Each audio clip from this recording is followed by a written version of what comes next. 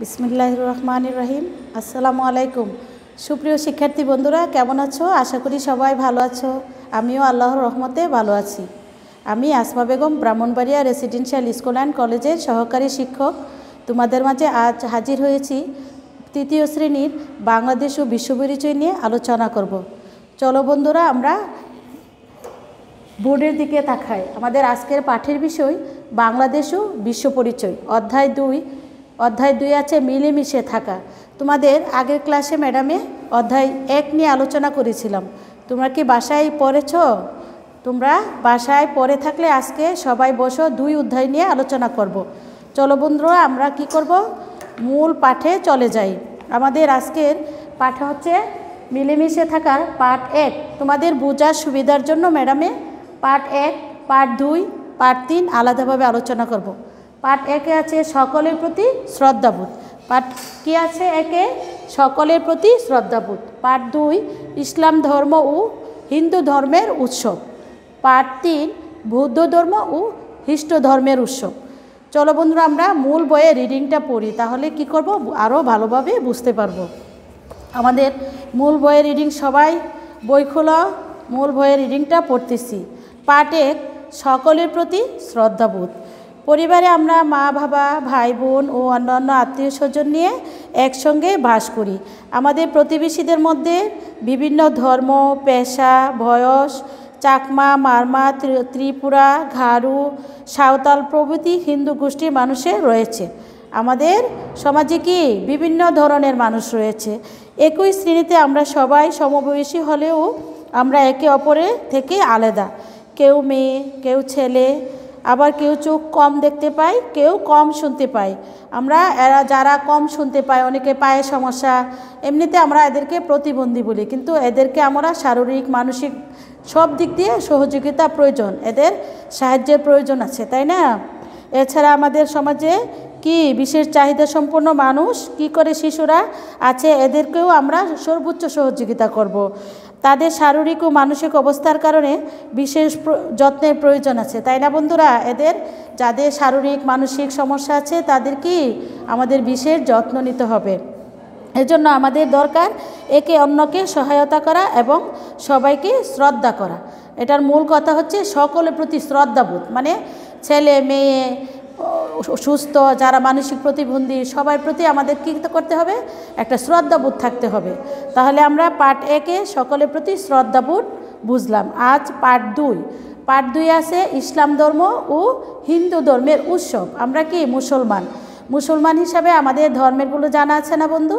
কি? আমাদের ধর্মগুলো হচ্ছে আমরা উৎসব পালন করি বিভিন্ন ধর্মের। যেমন ঈদুল ফিতর, ঈদুল আজহা। চলো রিডিংটা পড়ি, তাহলে জানব। আমাদের দেশে চারটি প্রধান ধর্ম আছে।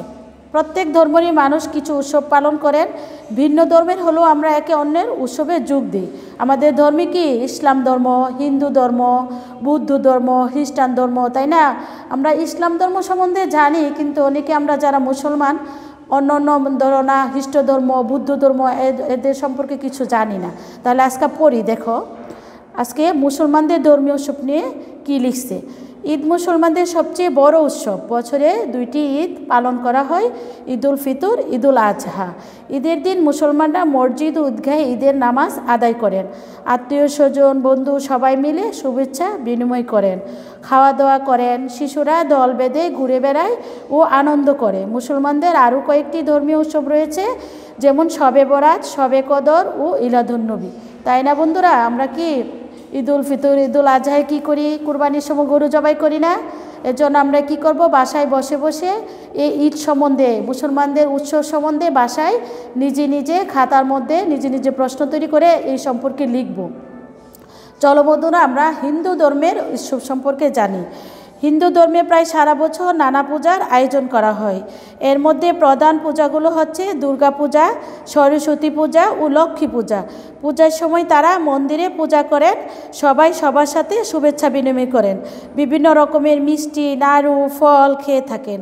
শিশুরা নানা ধরনের খেলা ও আনন্দে মেতে ওঠে। তাহলে বন্ধুরা, আমরা হিন্দু ধর্মীয় সম্পর্কে জানলাম। তোমাদের সাথে যারা বন্ধু আছে হিন্দু ধর্ম, এদের সাথে আলোচনা করবে আরও অনেক কিছু জানতে পারবে। তাহলে আজ এখন আবার পার্ট তিন বৌদ্ধ ধর্ম খ্রিস্ট ধর্মের উৎসব। বুদ্ধদের ধর্মীয় উৎসব হচ্ছে বুদ্ধ পূর্ণিমা। তাদের ধর্মীয় উৎসবের নাম কি? বুদ্ধ পূর্ণিমা। তাহলে গৌতম বুদ্ধের জন্মদিন উপলক্ষে এই উৎসব পালন করা হয়। এই সময় বৌদ্ধ ধর্মের অনুসারীগণ বিশেষ প্রার্থনা করেন শিশুরাও তাতে আনন্দের সাথে অংশগ্রহণ করে। মাঘী পূর্ণিমাও বৌদ্ধ ধর্মের একটি উৎসব। তাহলে আমরা কি জানলাম? বুদ্ধ ধর্ম সম্পর্কে জানলাম। এখন জানব খ্রিস্টানদের ধর্মীয় উৎসব কী? খ্রিস্টানদের ধর্মীয় উৎসব বড়দিন। প্রতি বছর পঁচিশে ডিসেম্বর যীশু খ্রিস্টের জন্মদিনটি বড়দিন হিসেবে আমরা পালন করে। যারা খ্রিস্ট ধর্ম অবলম্বী তারা কি করে? পঁচিশে ডিসেম্বর শিশু যীশু খ্রিস্টের জন্মদিন বড়দিন হিসেবে পালন করে। মনে থাকবে তো আমাদের বড়দিন কবে পালন করা হয়? তাহলে আমাদের দেশি খ্রিস্ট ধর্মের অনুসারীগণ এই দিনে কি করেন? গির্জায় প্রার্থনা করেন, একে অপরকে উপহার দেন, সবাই মিলে আনন্দ ও খাওয়া দাওয়া করেন। খ্রিস্ট ধর্মের মানুষ গুড ফ্রাইডে ওস্টার সানডে পালন করেন। এছাড়াও বিভিন্ন ক্ষুদ্র নিগোষ্ঠীর নিজস্ব কিছু ধর্মীয় অনুষ্ঠান আছে। তাহলে আমরা কি জানলাম? খ্রিস্ট ধর্ম বুদ্ধ ধর্ম মুসলমানদের ধর্ম সম্পর্কেও জানলাম। আমরা বাসায় কি করব? বাসায় বসে বসে রিডিং বইটা পড়ব এবং প্রশ্ন নিজে নিজে তৈরি করব। প্রশ্ন নিজে নিজে তৈরি করে খাতায় লিখব। তাহলে আমাদের আরও অনেক কিছু জানার আছে এবং আশেপাশে যারা বন্ধুবান্ধব আছে, তা যারা মনে করো হিন্দু ধর্ম আছে বা খ্রিস্টান ধর্ম আছে, বন্ধু এদের সাথে আলোচনা করে আমরা নিজে নিজে সবাই বসে বসে লেখার চেষ্টা করব। তবে পরিশেষে আমি একটা কথা বলব, তোমরা কি করবে বাসায় বসে এই অধ্যায় থেকে, আমি কিন্তু গত ক্লাসেও বলেছিলাম, তোমরা দশটি প্রশ্ন লেখার জন্য। তোমরা কি লিখেছ? তাহলে স্কুল খোলার পর ম্যাডামে কি করব? খাতাগুলি চেক করব। তোমরা বাসায় আম্মু অথবা আব্বু অথবা প্রাইভেট টিচার এদের মাধ্যমে তোমরা লিখবে এবং এদেরকে দেখাবে। আর স্কুল খোলার পর ম্যাডামে আবার খাতাগুলি চেক করব। তোমরা কে কতটুকু পড়েছ? পড়ালেখা তো অবশ্যই করতে হবে, পড়ালেখা ছাড়া উপায় নাই। তাহলে আজকে আমরা আসলে বাড়ির কাজ কি? দেখি, আমাদের বাড়ির কাজ বুট বইয়ের। বুট বইয়ের চুয়াত্তর পৃষ্ঠা অল্প কথায় উত্তর দাও এবং বড় প্রশ্ন। এগুলি শিখবে এবং লিখবে এবং সাথে দশটি প্রশ্ন তৈরি করবে। তাহলে বন্ধুরা, আজকের মতো এখানেই শেষ করলাম। সুস্থ থাকবে, গড়ে থাকবে। আল্লাহ হাফেজ।